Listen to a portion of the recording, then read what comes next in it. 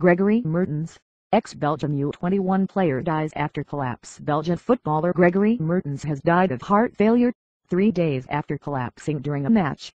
The 24-year-old Lokeren defender was treated on the pitch during the first half of Monday's reserve team game with Genk but did not recover after time in hospital on a life support machine.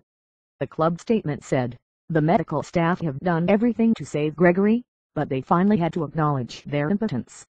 Gregory passed away at around 1630.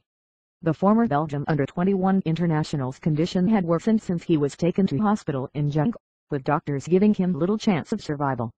On Thursday his family agreed his life support should be switched off.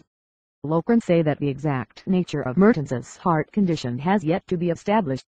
But he passed all preseason health tests required by Europe's football governing body UEFA, and was judged to be one of the fittest players at his club.